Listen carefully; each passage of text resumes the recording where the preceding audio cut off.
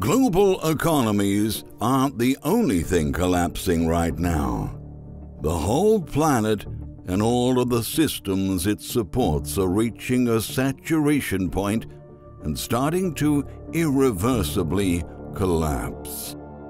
The disasters we have been recently witnessing are a clear demonstration that nature is tremendously overwhelmed by our self destructive behaviors. But what many of us aren't realizing is that at this point, climate change won't be reversed only by reducing global temperatures, since entire ecosystems have already been compromised. And even though we aren't seeing the direct impacts of such disruptions in our lives right now, it won't take long until we do.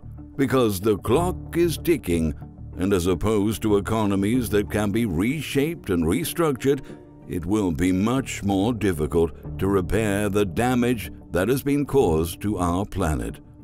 That's why today we've decided to bring to light some very concerning reports exposing the catastrophic effects of the extinction of several species of freshwater fish and insects and why this could result in the aggravation of health crises and global famines while putting the survival of mankind in jeopardy. So stay with us and don't forget to leave a thumbs up and share this video. Please subscribe to our channel and turn on the bell to keep updated with the latest notifications. Now, this week, a very alarming report released by 16 conservation groups revealed that almost one third of all freshwater fish species are on the brink of extinction. The world's forgotten fishes exposed that 80 freshwater species, which account for over half of all the world's species, have already been declared extinct, with 16 of them disappearing in 2020 alone. These numbers underscore that we're losing more than one species of freshwater fish every month and several migratory populations are suffering catastrophic declines as well, with over three quarters having disappeared since the 1970s, while populations of larger species weighing over 60 pounds have dropped even more acutely by roughly 94%. Freshwater fish are essential to the healthy functioning and maintenance of our planet's rivers, lakes, and wetlands, and hundreds of millions of people around the globe rely on them to ensure food security, being the main source of protein of numerous communities. It's also crucial to the livelihoods of many groups, especially vulnerable and indigenous communities. As this decline is worsening with each passing year, it could put societies and economies across the globe in peril, the report said. Researchers stressed that more than 200 million people across Asia, Africa, and South America depend on freshwater fish to meet their nutritional needs, and about one third of those people also rely on them for their jobs. Therefore, the significant reduction of such populations can lead to the intensification of hunger crises across the world.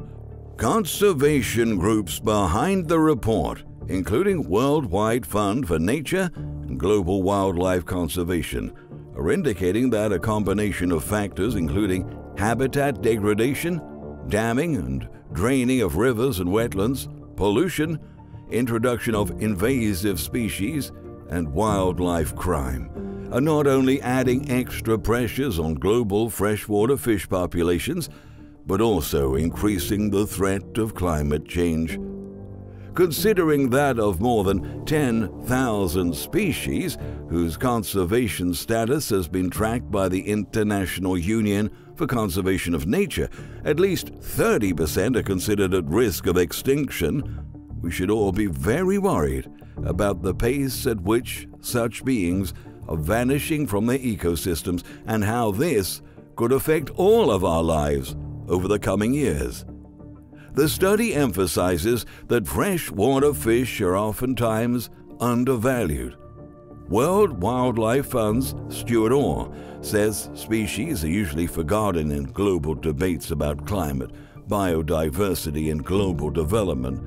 Stuart Orr says, I think this report is 16 organizations coming together to highlight, on the one hand, the incredible diversity of freshwater fish species, but on the other hand, remind people that these species are in decline, linked a lot to food security, to jobs, and to cultural services, Orr told in an interview with NBC News.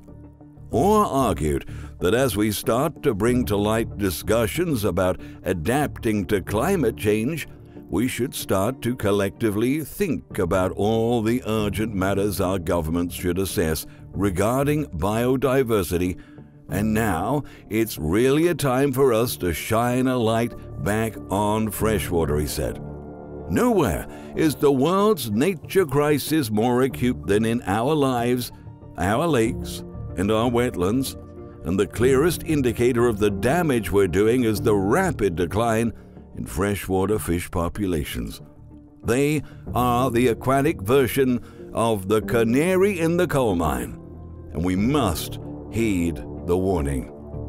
Despite their importance to local communities and indigenous people across the globe, freshwater fish are invariably forgotten and not factored into development decisions about hydropower dams or water use or building on floodplains, or added, outlining that those species matter to the health of all beings, as all people and all life on land depends on freshwater ecosystems and it's time we remember that, he says. At the same time, we're also witnessing the disappearance of multiple insect species. In fact, earlier this month, a synthesis of 73 studies on entomological fauna performed around the world over the past 40 years, listing places from Costa Rica to southern France, disclosed that insects, which constitute two thirds of all terrestrial species, have been dying off at staggering rates and causing devastating impacts on food chains and habitats just as well. Researchers calculated that more than 40% of all insect species are on the verge of extinction, and every year, about 1% is added to the list. This corresponds, as they noted, to the most massive extinction episode since the dinosaurs disappeared. The main factors are related to habitat loss and land conversion to intensive agriculture and urban development, followed by pollution resulting from pesticides and fertilizers, invasive species, and, of course, climate change. The conclusion is clear, they wrote. Unless we change our ways of producing food, insects as a whole will go down the path of extinction in a few decades. According to Australian researcher and co author of the study, Francisco Sanchez Bayo, within a century, all insects could be wiped off from the face of the earth. Sanchez Bayo says it is very rapid. In 10 years, you will have a quarter less. In 50 years, only half left. And in 100 years, you will have none. But the review's authors stressed that as the total mass of insects is dropping by 2.5% each year, if the decline continues at this rate, widespread insect extinction can happen much faster than forecasted. The environmental biologist pointed out that if insect species losses cannot be halted, this will have catastrophic consequences for both the planet's ecosystem and for the survival of mankind.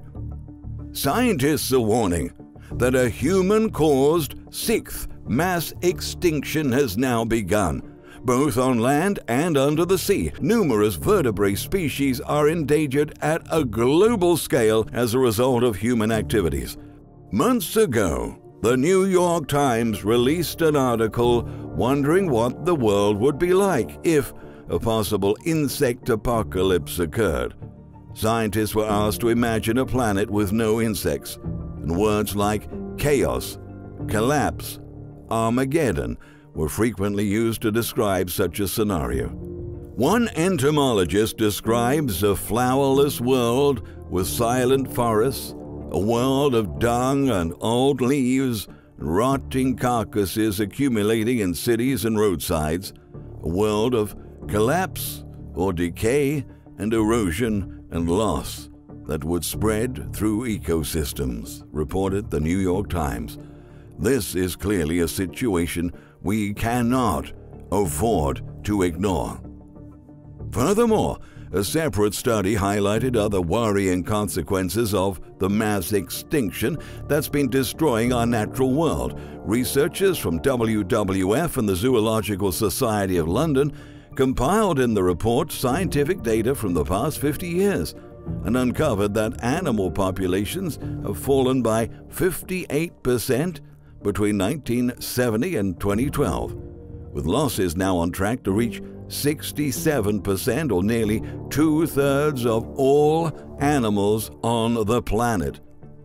The analysis, the most comprehensive until this point, indicates that the destruction of wild habitats, hunting, and pollution were the main drivers of this calamitous devastation, which underlines once more how our disruptive relationship with our surroundings is contributing to the decay of life on Earth. According to the executive director of the Stockholm Resilience Center, Professor Johan Rockström, the collapse of wildlife is, with climate change, the most striking sign of the Anthropocene, a proposed new geological era in which humans dominate the planet. We are no longer a small world on a big planet. We are now a big world on a small planet where we have reached a saturation point. Similarly, the Director General of the World Wildlife Fund, Marco Lambertini, warned that the richness and diversity of life on Earth is fundamental to the complex life systems that underpin it. Life supports life itself, and we are part of the same equation. Lose biodiversity, and the natural world and the life support systems as we know them today will collapse. He noted that humanity was entirely reliant on nature for clean air and for water for food and materials, as well as inspiration and well being. But what's completely terrifying is that even the human race itself is in decline, and the effects of it are already noticeable. All around the world, fertility has plummeted by 50% between 1960 and 2015. In America, the total birth rate is 16% below what it needs to replace itself. Although there are several apparent determinants that could have contributed to this number, such as a couple's decision of conceiving later and choosing to have smaller families, according to Mount Sinai fertility scientist Dr. Shanna Swan, the issues run deeper than personal choice. The current state of reproductive affairs can't continue much longer without threatening human survival, Swan argued, warning that it's a global existential crisis. In the Western world, the decline in human fertility has been dramatically acute, and the United States isn't alone as Swan revealed birth rates and fertility have already dropped below replacement level in several other nations as well. And that's not all of it. Cambridge University scientists have uncovered that mankind is significantly shrinking in size. The researchers say humans are way past their peak and that modern day people are 10% smaller and shorter than our hunter gatherer ancestors. They outline that today we're basically weaklings compared with our ancient ancestors who could easily outrun and outlift all of our current top athletes. And if that's not upsetting enough, our brains are also remarkably smaller too. For the longest time, humans believed in the idea that the emergence of civilization was the prime of mankind. But in fact, as we became sedentary, we've lost resistance, we've lost strength, we've lost immunity, and lost several other features that have assisted us to better adapt to life on Earth. And we've lost many other features that have assisted us to better adapt to life on Earth. Our food is filled with hormones and pesticides. Our water has traces of toxic waste. Our atmosphere is getting increasingly more polluted with each passing day. Our fragilized bodies are producing harmful genetic mutations and passing them on to the next generations, which will then produce another range of mutations and continue to pass them on and on. This means that the clock isn't only ticking for our planet, but it's also ticking for humanity itself.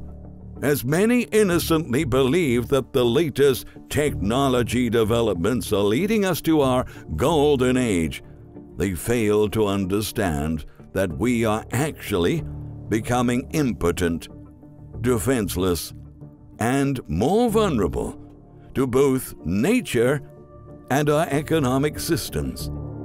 If we don't start to promptly address ways to stop the destruction of the earth while confronting our self destructive behaviors, soon there will be no way to fix the mess we have created, and surely we will reap what we have sown.